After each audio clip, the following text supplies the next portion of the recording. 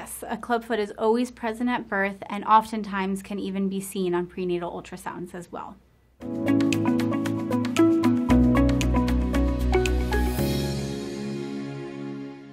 So there's four characteristics when describing a clubfoot.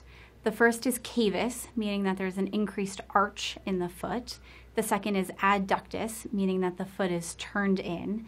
The third is varus, where the heel or the calcaneus is actually tilted out. And then equinus, where the foot is pointed down. Sometimes in babies, it can be difficult to tell if it's a clubfoot or just a positional, flexible position of the foot. Uh, the important thing to look for, though, is that equinus. If the foot cannot be brought up easily, then that's a clubfoot.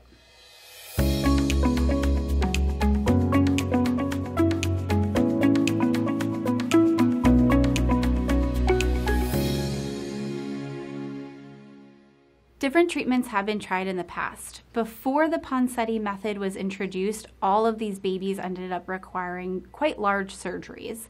And while the surgery tended to be successful, uh, it required opening up the joints of the foot. And anytime you do that, it just leads to increased scar tissue and decreased flexibility. And a clubfoot is already a little bit stiffer than a non clubfoot. Uh, additionally, there was the risk of overcorrecting the clubfoot, which then became even more difficult to treat.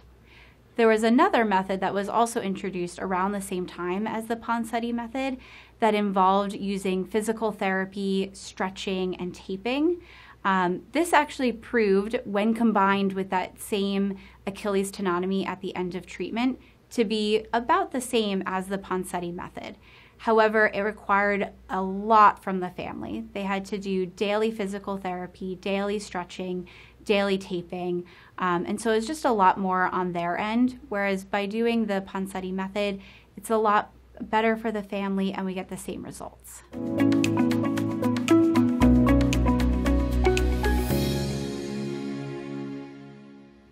The most common cause of a relapse is in patients who are non compliant with bracing. And so that's why it's really important that our families continue to brace as we prescribe.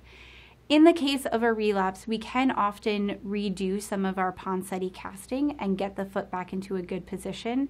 Sometimes we have to redo our Achilles tenotomy, and sometimes ultimately these patients end up requiring more procedures or sometimes larger procedures to get that foot into a flat position.